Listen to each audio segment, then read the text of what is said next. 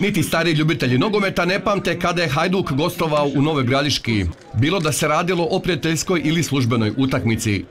Lijep dekor uz ugodno vrijeme stvorilo je sjajno ozračje na stadionu Sloge, a sve je upotpunila i svojim prisustvom Torcida, koja se povremeno javljala, ali i pokazala slogan što misli nakon nedjeljnog derbija s Dinamom na poljudu. Hajdukovci nisu pocijenili domaćine, te su prolaz u drugo kolo osigurali za prvih 30 minuta, postigavši četiri gola. Prije svega čestitam organizatoru na jako dobro organiziranoj utakmici. Ovaj, bila je ovo prava fešta od, baluna za, za naše navijače koji su od Novoj Gradiški mnogobrojni. Ja mislim da smo mi pokazali jednu, jednu pravu predstavu za njih, da smo zadovoljili njihove e, zahtjeve i tako da sve u svemu možemo biti zadovoljni s ovom predstavom danas. Ja. Golman od Nove Gradiške bio danas na jako visokom nivou, bio jako dobar. Mi smo tu i tamo jednu ili drugu akciju ovaj, malo olako pokockali, ali sve u svemu, sve pet, jel?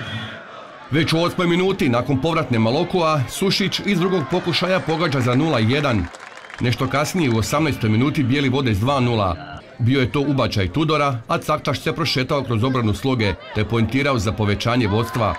Samo tri minute kasnije, pogrešku domaćeg vratara Plavca koristi vrlo dobri Maloku, koji podiže rezultat na 3-0. Malo smo možda i umorni zbog ove utakmice što je bila u subotu, emocionalno i fizički smo malo spražnjeni.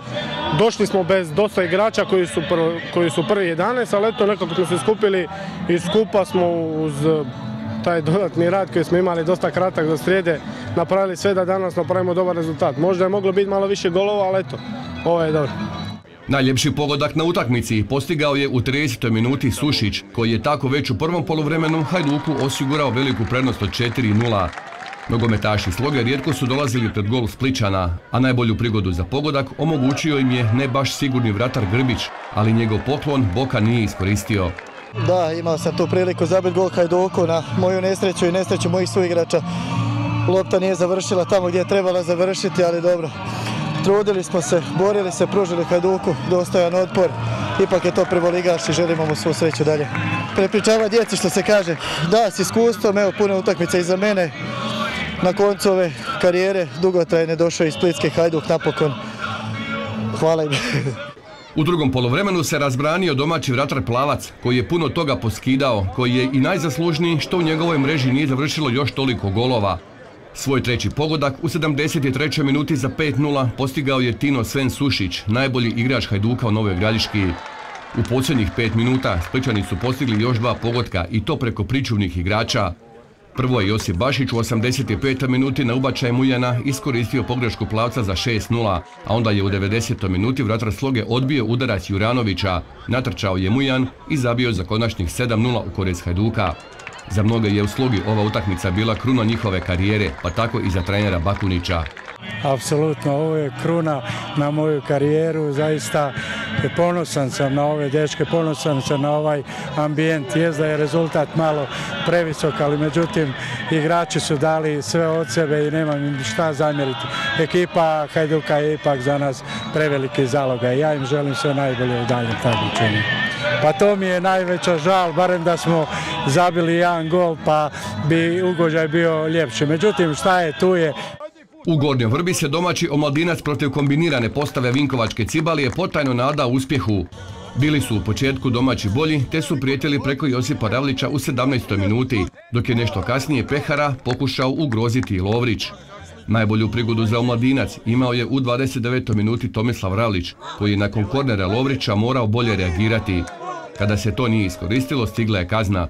Dogodilo se to u 36. minuti, a Martinković je presjekao povratnu loptu prema Brkiću i pogodio za 0-1. Nakon toga u 39. minuti domaći su imali veliku prigodu za 1-1, ali se Gudelj nije snašao nakon što ga je dobro proigrao Josip Ravlić, dok vrijedi pohvaliti i mladog golmana Cibalije Josipa Pehara. Momčad poput Cibalije i taj je promašaj kaznila u 45. minuti, kada je Plum bio asistent, a Kraljević je stjelac za 2-0, te su već tada Vinkovčani osigurali prolaz u drugo kolo kupa. Klasična kup utakmica između domaće niže ligaše koji je iznimno motiviran i ovo njima velika utakmica. Znao sam da će biti problema dok oni mogu parirati parirati sa snagom. Najvažnije je bilo otvoriti, otvoriti sa, sa golom, sve nakon toga je lakše. Drugo vrijeme je bilo više ljudi ne mogu, ne mogu držati taj tempo, tako da je to bilo samo pitanje tehnike na koji način utakmicu privesti kraju. Mi smo došli bez prve ekipe, sa pet juniora i ovim e, dečkima koji su na klupi, ali sam ja bio potpuno siguran da su oni sposobni e, danas pobjediti. U drugom polovremenu se Omladinac predao, te više nije pokušavao ugroziti gol Cibalije, koja je u 51. minuti preko Kraljevića povećala svoje vodstvo na 3-0. Samo tri minute kasnije, junior Cibalije Marko Martinković upisuje svoj drugi pogodak, nakon što je prošao kroz domaću obranu za 4-0. Imali su gosti kazeni udarac u 72. minuti koji nije realizirao Tadić, ali mu se lopta odbila te je iz popravnog podigao rezultat na 5-0. U samoj završnici susreta Kraljević je svojim drugim pogodkom postavio konačnih 6-0 za Cibaliju u Gornjoj vrbi protiv domaćeg omladinca. Mi smo domaćini ovdje, mi smo izgubili preko godinu dana i imali smo pravo i razlog da se nadamo.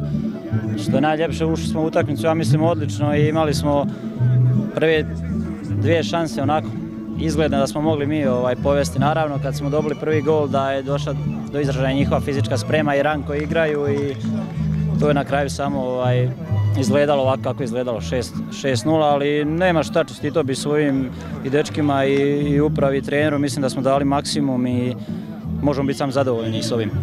Mislim da su ta dva gola prva presudila danji tijek utakmice koji su došli do, iz grešaka naših, naših igrača. Mislim da su igrači Cibali čak bili začuđeni poslije, poslije prvog gola. I nemamo mi više onda, mislim, i dovoljno i koncentracije i snage, pali smo poslije ta dva gola i bilo je samo eto, da ne primimo previše. Na kraju smo i dobili previše. Mislim da smo zaslužili manji rezultat. Da smo mi zabili te, makar jedan od ta dvije, za izrazito 100% prilike, mislim da, ne kažem da bi pobjedili, ali kažem da bi Cibalija puno, puno teže došla do pobjede.